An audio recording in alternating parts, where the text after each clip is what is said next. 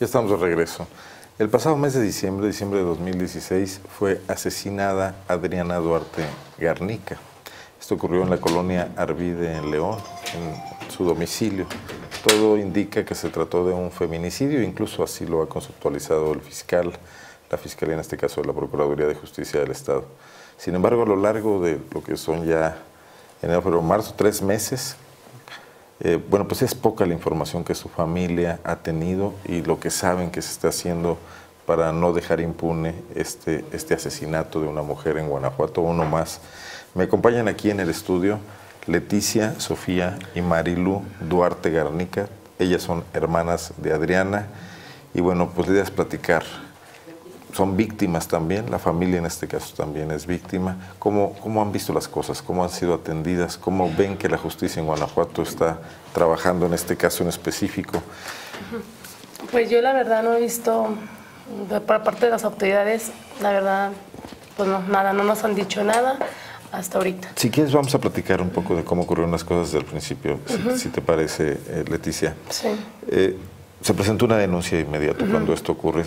No había duda sobre quién podía ser el, principal sospechoso, mm. ¿verdad? Porque desde que salió en los medios de comunicación se señaló. Sí, incluso, mm, pues era, con la que, esa, o sea, mi hermana se está siempre con él, pues igual, fue en la casa de él pues se supo que en la casa fue de, él. Digamos que era su pareja, era su novio. Pues yo lo noto como pareja porque mi hermana ya se quedaba ahí con él. Sí. O sea, era su novio, su pareja sentimental. sí. Y ya incluso de la casa casi no iba porque pues se la pasaba más tiempo con él. El crimen ocurre en la casa de él, en la, casa de él. Sí, no en la casa de ella. Ajá. Y marca un hermano de él, eh, según esto, el, el martes. ¿El nombre lo tenemos? ¿El nombre de él? Sí. Sí, Cristian. Eh, Díaz Infantes Fuentes. Su, su, nombre de él. El que la asesinó. El que la asesinó a ella. ¿Y te marcan por teléfono ese día? ¿O les marcan a ustedes? No, incluso yo me estaba, yo salí, yo salí esa vez fuera a, Guadalajara, pero a mí incluso me, un amigo que una vez la llevó a, esa casa me dijo de que, ¿sabes qué? Pues pasó esto en la vida, yo voy a correr y pues miré un periódico donde mataron a una muchacha. Dice, de esta edad a esta edad, y, y, si es que la casa se me hace conocida, que fue donde una vez yo dejé a tu hermana, y la llegué, la llegué allá a ver que se llegó a pasar ese domicilio con el muchacho con el que andaba. esto pasa después de que se publique en el periódico, o sea, ah, quizás dos días después de Sí, yo me di cuenta hasta el miércoles, un día, martes. El, o sea, el periódico, eh, porque no, no nos dábamos cuenta que el cuerpo de ella lo sacaban un martes a las 3 de la tarde y él, yo me entero hasta el miércoles, yo, yo le sabía de la mañana, y, y, eso porque me dijo el muchacho, oye, si, sabes algo de tu hermana, le dije, ay, no, le dije, pues no está bien, ¿estás segura que está bien? Dice, es que yo ahorita salgo a correr las mañanas a la Arvide, dice, y mira un periódico de que ayer sacaron un cuerpo de una casa de ahí, dice, y esas, esas calles yo las conozco, dice, yo llegué a llevar ese domicilio a tu hermana. Tu hermana se dedicaba a, era, eh, Fisiculturista. Fisiculturista, pero entrenadora también en gimnasio. Sí, incluso en el Mara, en el Sport Mara aquí en, en, San Juan Bosco, ella duró tiempo ahí trabajando y entrenando a muchachas, a, jovencitas. Eh, y pues siempre pues ella le gustaba mucho el deporte. Siempre, incluso por años ¿ah? haciendo mucho deporte. ¿No conocieron ustedes mucho a Cristian? Mm, o sea, no, lo trataron en el trato con su hermano, o sea, no sabían si había violencia, si él... Este, pues yo sí, yo sí un poquito sí, sí lo conocí más porque para todo llegaba ella a la casa, ella vivía conmigo en la casa, con mi papá, entonces para todo ella, eh, pues, y contigo también, incluso también con las tres, tenemos comunicación, siempre la hemos tenido, y igual... ¿La más chica que ustedes? Sí, la más chica, pues es la que se seguía de mí ella, de las más chicas, y me y pues para todo conmigo, ay, dale, también contigo, o sea, si nos platicaba si había violencia, últimamente era muy celoso O sea, sí, sí había señales de, de violencia. ¿Ella nunca pensó en denunciar esto o, pues la verdad, no. Digo, a veces se normaliza mucho, un novio celoso parece que es algo normal, ahora sabemos que no es normal, ¿no? Ajá. Eh, pues yo de, de respecto a eso sí, nunca me llevó a decir ella de de que lo iba a denunciar algo, porque pues igual lo seguía mucho. Ni quiera nada. Mm, perdón, yo pienso que ella ya último lo que tenía era miedo a él. Ella era una persona muy tímida, o sea, ella estaba alta, muy fuerte, robusta. Muy robusta. Y incluso tenía amigos que le decían, no, a mí tengo miedo a Adriana porque tiene unas piernas muy Muy dobles. muy dobles, de, pero de ejercicio y todo. Por el ejercicio. Pero ella no tenía carácter en nada. Eh, ella una vez, yo entrenaba con ella y le dice, me dice ella, ¿sabes qué? Eh, ya no fui al gimnasio. Digo, ¿por qué? Dice, lo que pasa que una muchacha de ahí me dijo que, que ya no fuera. Y yo le, bueno, ¿y ella quién es para decirte que no vayas? Mm, y fui, incluso yo sí le reclamé a ella, oye, ¿tú quién eres? Déjala. No, tú no eres nadie aquí. Porque en los gimnasios no eres empleado, eh, te pagan tus clientes, pero los gimnasios te dan la oportunidad de entrar. de ¿verdad? entrenar. Entonces, alguien la bloqueó para que Sí, entrara. y ella era muy, mm, como, muy noble. No era de problema. No era de problemas, ella nunca era de problemas ni nada. Y a mí yo le dije, Adriana, le digo, pero ¿cómo alguien te puede pedir que vayas? ¿Verdad? No puede. Entonces, de primero esta, mm, mi hermana como que sí, sí hizo amigo, amiga de él, pero ya después como que últimamente él la agredía. ¿Es la que se lo que me- dedicaba? No, él no hacía nada. No hacía nada. no, Él no. no hacía nada, lo mantenía la mamá y no, no hacía nada. Y, y luego siempre esta persona, me cuentan ellas, que llegó a insultarla, humillarla delante de ellas y de varias gente en una boda. Entonces ya últimamente como que, como que ella ya quería ya dejarlo, como que él sí la, la amenazó. Pero Yo me imagino que era eso. Ya últimamente ya no estaba a gusto. Yo la vi ocho días antes de que sucediera eso y ella se agarró llorando y me dijo, no, es que ya, ya voy a dejarlo. Yo nomás lo vi una pura vez y de esa vez nunca me, me gustó esa persona. Luego lo, lo miré que, que no, no Había sé. un patrón de violencia. Sí. Cuando, y, y yo le supliqué perdón, que lo dejara y ella se agarraba llorando. Y no, sí, sí lo voy a dejar, sí lo voy a dejar ya. Y yo digo, pues te tiene amenazada, dinos, nos tienes a nosotros, somos tu familia y todo, te vamos a ayudar, no te vamos a dejar sola. Y no sé si, nos tiene, si te tiene amenazada o algo, digamos que esa fue la única señal de auxilio que ella envió, pero no más. no más. Y se agarró llorando. Él siempre cargaba una pistola. Esa persona siempre traía una mariconera y ahí traía un arma. ¿De cuántos años, Cristian? 26 años. Relativamente joven.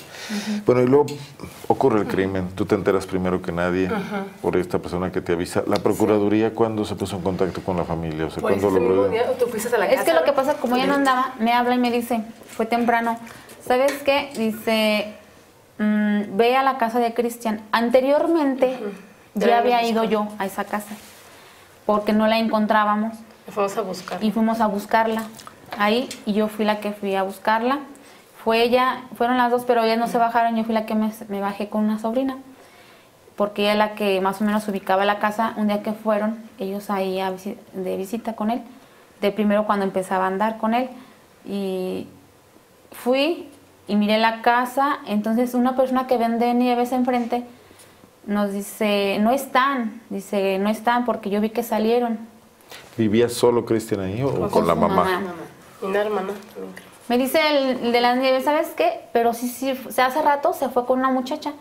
Dije, es que andamos buscando a mi hermana. Dice, mira, la muchacha es así alta, de pelo negro, largo, así más o menos se parece a ti. Y luego, no, sí. Dice, sí es ella. Se fueron hace como en la tardecita, unas dos, tres horas. Entonces ya de esa forma pues nos quedamos más tranquilas, ¿verdad? Bueno, pues si está bien, anda con él. Mm, Luego, o sea, yo le comenté al de las nieves, dígale que por favor, cuando, si le alcanza a ver, mm, antes de que usted se retire, que se vaya a la casa o que nos marque. Y ya en la noche yo le marqué a ella y me dijo que ya había llegado a la casa. Y de ahí ya ella se iba a entrenar, porque ya después ya no entrenaba, ya iba muy, muy poco a entrenar. Entonces ella me marca y me dice ese día del, mar, del miércoles, ¿sabes qué? Eh, me habló esta persona, nuestro amigo, dice que él vio una, el periódico Ah, ah, ajá. como está cerca de ahí el, el lugar donde él trabaja, dice que se dio cuenta que encontraron ayer martes que sacaban un cuerpo de una mujer de la colonia Arvide y así más o menos las características. Entonces él como que sospechó algo. Marco. Otro día vio el periódico y dijo, no, si las características... Y como. Adriana le había dicho que él nada más vivía ahí con la mamá. Y, Sí, se, pues es y ella. de que era entonces todo tiene de tu hermana. Entonces fue cuando le marca a ella y le dice que, que dónde está, que dónde está Adriana. Y dice, porque es que en el periódico salió así, así. Entonces ella como andaba afuera, me habla a mí Y me dice, ve por favor a la casa, tú sabes dónde es y la casa. Mira que salió una nota en el periódico. Ella me la toma nada. Entonces tú En fuiste. WhatsApp. Yo fui, entonces, No a la Procuraduría, sino a la casa. a la casa. Ok, yo la- Entonces, la casa ella me manda por WhatsApp la foto del que sale en el portal del periódico y yo la veo y digo, no, sí es la casa. Yo esa vez me acuerdo que la vi muy bien. En ese momento ya estaban ustedes muy Sí, entonces preocupadas. yo sí dije, ay no, no, pues fue algo horrible, que dije, no, si es la casa y como dicen que no, o sea, yo sí ¿Qué, dije, qué "Eso es lo hiciste, peor". Ay, no, no, la, la verdad en ese momento me sentí tan mal, no supe ni qué hacer. Se fueron también tú fuiste. Ya me dice la señora que me ayuda, sabes que tranquilízate, le conté lo que estaba pasando. Ahorita van, pasé por ella, fuimos, pero no sé, a mí algo ya me decía que era ella, que era ella, porque ese día que yo estuve con ella, como que veía que sí la tenía amenazada. Lloró, lloró mucho y me dijo que, que no, que ya, ya iba a seguir su deporte otra vez, que ya se iba a alejar de él. Y incluso ese lunes, amigos que comentamos esa vez de la, que había fallecido de la tragedia, nos dijo, no inventes, todavía el lunes ella vino aquí temprano. Fue a entrenar. Entonces fue ese día que, que fue, yo creo que fue cuando la asesinó. ¿Tú fuiste a la casa de la familia de él? Sí, salió la ¿Quién te mamá y ella fue lo que dijo, yo no te puedo dar información de nada. Yo le dije, sí es mi hermana, ¿verdad? Sí fue mi hermana, la que asesinaron aquí. Y nomás se quedaba así. Entonces, pero para esto, poquito antes nos abrió la señora del servicio, que le hace el que hace a la señora. Nos dijo, no, sí pasó una, una desgracia aquí. La muchacha que anda con Cristian, dice, sí la asesinó, sí fue la que encontraron aquí. Entonces yo dije, es mi hermana. ¿Cristian huyó? Sí. O sea, su familia de alguna manera lo encubrió para darle Sí, tiempo. eh, su mamá yo digo que ella tuvo, tuvo que ver, ella tuvo que ver, porque pues es una casa pequeña. Supone que hubo golpes, estaba mi hermana golpeada, fracturas de cráneo, asfixiada, golpeada, o sea, lo hizo con toda la, la, la- o sea, el propósito de matarla. Sí, O sea, no usó la pistola, la mató a golpes. sí, a golpes. Eh, en la- Porque, estaba toda golpeada de su cara. Pues ella. igual si discutiera una persona, dices, sabes que por accidente me caí, se golpeó, se mató. Pero tanto golpe, en el tanto odio sobre ella. ¿A qué- ¿En qué momento se ponen en contacto con las autoridades ustedes? Enseguida, luego, luego. Luego nos fuimos. Cuando no te da información ella, tú vas. Le hablé a un amigo y me comentó él, ¿sabes qué? Vete a, allá a Cepol y no, no, ahí no te van a dar información, mejor acá en el Ministerio Público. Mm, Pero enseguida de eso, cuando estábamos haciendo eso, llegaron a la casa. Llegaron a la casa. A la- a la- a la- a la casa donde ella, donde vivía mi hermana Donde con vivía ella. tu hermana. casa. A la minister- los ministeriales llegaron ahí. Pero tú no estabas todavía. No, yo andaba en Guadalajara con un hermano precisamente y, y yo incluso no, yo iba bien mal. ¿a quién avisan a tu mamá? Mm, Mi mamá no, ya murió ella, hace tres años que murió. Eh, mi hermano, otro de los más chicos de la casa, eh, no, le marcó a, a mi hermano, al que iba manejando, eh, y, y me dijo, ¿qué crees? Leti?" Y dice que sí fue Adriana la que asesinaron. Ay, no, pues me sentía que me volvía loca. Pero pues igual, con impotencia. Regresaste a León. Sí, nomás iban así de ida y de Una regreso. impotencia muy fuerte, pero digo, pues igual, ya, está- ya llegué y yo todavía estaba como que dije, a mí se me hace que ojalá que no haya sido ella, que se hayan equivocado y voy a llegar a, a la casa, ya se nos hizo oscuro y pues miré mucha gente afuera de la casa. Y ya se acercaron a darme el pésame, entonces dije, pues sí, sí fue mi hermana.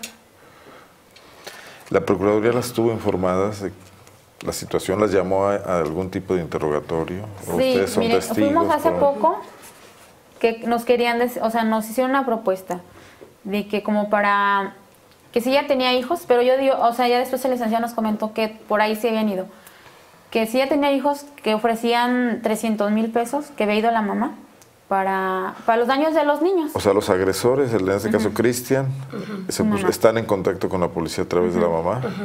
Y el licen- y del licenciado. Nosotros no hemos hablado ya con la mamá. Se ofrecían reparar el daño. Sí, Ajá. Pero tu hermana sí tenía hijos. sí. Dejó dos menores de edad de 8 años. ¿Y eso para atenuar un poco el castigo? Pero si, si el, si no, el- para alimentación de los niños nada más. Ahí, se, ahí como que nos la tiraron así. Para la alimentación de los niños.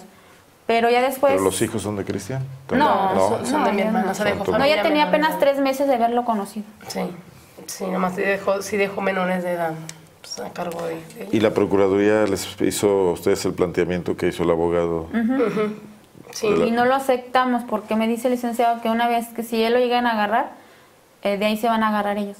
De que, no, pues ya, ya se les dio dinero, ya con eso aceptaron ustedes y repara el daño y la verdad pues no. Sí que no, malo No hay que precio para, para ese Ah, daño. porque él está ahorita ya muy a gusto en la calle. Y Ya se- lo han se visto. se han dicho ¿Aquí en que- León? Aquí en León. Ya lo llegaron a ver. Su pareja de ella lo llegó a ver. eh, anda de barba, anda con boinas, porque él no andaba con barba. ¿Ustedes avisaron ya a la Procuraduría de esto? Sí, sí avisamos, Sí, sí pero al Les parecer que necesitaban más, Más pistas. Que- O sea, ¿usted siente que no lo están buscando? No, no, lo están buscando porque yo pienso que si se lo hicieran, ya lo hubieran agarrado. Se supone que hay una, eh, una, organ- una entidad dentro de la Procuraduría de Justicia, una dirección, un área de atención a víctimas. ¿Ha estado en contacto con ustedes? No, Ah, ni una vez nos han marcado, Nunca nos han nada. marcado para darnos ninguna información. Nosotros somos las que estamos este, de repente hablando Marcando con para el ver qué nos licenciado a dice. ver si hay- ha habido algún adelanto, han tenido alguna información de. Pues nada, ya sabes, no Pues nos ahora sí que parece nada. que ya, o sea, que nunca fue asesinada ella, ahora sí que... ¿Ustedes no se han puesto en contacto con organizaciones no gubernamentales que se dedican Eh, lo que pasa es que la, la última vez que nos citaron ahí en la Procuraduría, nos comentaron que no hiciéramos ningún movimiento de nada, que para, para, no, para no poner sobre aviso a esta persona, que no, solo que no subiéramos a nada a redes sociales, que no habláramos de nada. Entonces, pues nosotros lo quisimos dejar. Eso lo pidió la Procuraduría Justicia. Para que no pusiéramos sobre aviso a nadie de que lo, lo que, bueno, lo que está pasando. Ustedes saben que hay un Instituto de la Mujer en Guanajuato y otro en León, en el municipio, que Ah, también sí, sí, podría... ese sí. ¿Y han acudido? No, incluso yo tengo una amiga mm, que igual ella me comentó, si yo te llevo, dice, incluso yo le hablo mucho a la, a la de, de eso de, sí, del Instituto de lo de las Mujeres ahí en Guanajuato, y igual, eh, por eso nos movimos, porque dije, pues igual, dije, vamos a dejarle también su tiempo, tiempo a los policías, a la justicia, pero probablemente no vemos nada. Por eso acudimos ahorita a este programa, para igual que se, si la gente que igual lo llegara a ver o algo, dejar unos teléfonos y pues igual eh, que se comunicaran, porque la verdad sí es muy triste también de decir, oye, ya, ya, ya falleció, ya su muerte quedó impune, entonces ya no se va a hacer nada. Entonces digo, pues ahora sí que uno no quiere más ni menos, más, más lo que es, que él pague. Les dijeron en la que. Procuraduría que se iba a, a tipificar el delito de feminicidio o nada más asesin, eh, homicidio, homicidio. Feminicidio. Feminicidio. Feminicidio. Pues, No, tienen que perseguirlo de oficio, no, no, no tienen que esperar nada. sí. Incluso no quería, mm, o sea, algo así por el periódico, porque salió una nota en el periódico en enero de que había pasado ya un mes y no, no tenían respuesta de nada. Y nosotros no, no, no Y él muy a gusto, solos- así como lo han lo visto, anda muy tranquilo en la calle con el apoyo de familiares de él, porque lo han visto en un ponte negro, eh, ¿sabes? Lo vieron con primos, yo pienso que primos de él, casi de la edad, sacándolo, o sea, paseándolo, y eso no, no, no es justo. No es justo que él, siendo un asesino, tenga más respaldo que nosotros que fueron Perdimos las a víctimas. hermana, pues sí. Aparte, es una persona peligrosa. Siempre carga un arma. Es una persona peligrosa que mi hermana nos comentó que andaba también con una mujer que vende drogas y, y andaba siempre con ella. Mira, independientemente de la mujer, ahora sí que yo digo eso, pues punto y aparte cada quien. Pero que es una persona peligrosa. Yo lo que me refiero es una persona peligrosa. Y mi hermana, que hacía cosas sanas, entrenaba, era una persona muy, muy humilde y, y buena. O sea, que le haya pasado eso en la forma en que la mató. Aquí hay un mensaje importante, digo, que ojalá la enseñanza quede también para quienes nos ven. O sea, la, la violencia eh, contra las mujeres es algo que no debe permitirse, ni las relaciones, ni el amor, ni mucho menos justifican que alguien golpee, cele o Sí, trate de sí, controlar a su pareja, ¿no? quien sea, ajá, y esto digo. puede ser denunciado, hay instancias para hacerlo, ¿no? Sí, sí, porque incluso digo, pues, o sea, quién sabe si es la peor, digo, pues igual, si, si es un esposo o una pareja, un novio, no tienen por qué pues, agredir a la, a la mujer. Digo, lo lógico que nunca van a tener uno de mujer las fuerzas que tiene un hombre, jamás. Entonces, por eso mismo, digo, pues igual si acudimos aquí porque pues ya nosotros nos sentimos como que ya se les olvidó el caso de ella, ya se olvidó de que fue asesinada. Entonces digo, pues para darles una recordada más de que igual queremos justicia. Pero igual convendría que se pongan en contacto con quien maneja esto con mucho profesionalismo y con mucha este, eh, pues cuidado de las víctimas, como hay, hay varias organizaciones que lo pueden hacer. ¿no? Y también pues poner a trabajar a las autoridades, en este caso el Instituto de la Mujer, que, que, las ayuden, porque ustedes son víctimas también, ¿no? Sí. Están recibiendo un trato en ese sentido. No. El otro tema es quejarse en derechos humanos, a ver si sirve de algo. Creo que puede servir de algo, ¿no? De no ser atendidas por la Procuraduría de Justicia. Pero bueno, por lo pronto lo que hace a nosotros, pues, eh, la idea es dar a conocer esto, lo que está pasando, como una cosa es el discurso, lo que se dice, hace unos días el gobernador presentó un informe y dijo que había grandes avances y presumió la inauguración de un centro de, de atención a mujeres violentadas en Irapuato y bueno, en los casos concretos, como es el de Adriana Duarte Garnica, esto simplemente no se nota y lo dice su familia. Yo les pediría que mm, no sea la última vez que nos veamos para saber qué está pasando. Ah, Incluso si el tema se encausa y todo, pues también que vengan y nos platiquen. Ah, que sí, sí, a ver que sí. Realmente es que como vayamos avanzando, nos damos otra vuelta por aquí, si Dios. Pues les agradezco mucho que hayan recordado esta historia que a ustedes les debe de doler mucho con la idea de que se haga justicia, ¿no? sí, que lo único que pedimos es eso, que se haga justicia. ¿Quieren decir algo más antes de irse? Usted que no ha hablado mucho, Sofía. No, la verdad, bueno. Ahora sí que ya mis hermanas comentaron lo que en su momento ella nos contaba sobre esta persona. Este, y como dicen ella, lo único que queremos es que se haga justicia a esta persona, porque pues igual a ella como fue víctima de él puede ser otra persona también. Muy bien. Muchísimas gracias a las tres, Marilu Sofía y Leticia Duarte Garnica. Vamos a seguir este, atentos a este caso. Y en un momento regreso.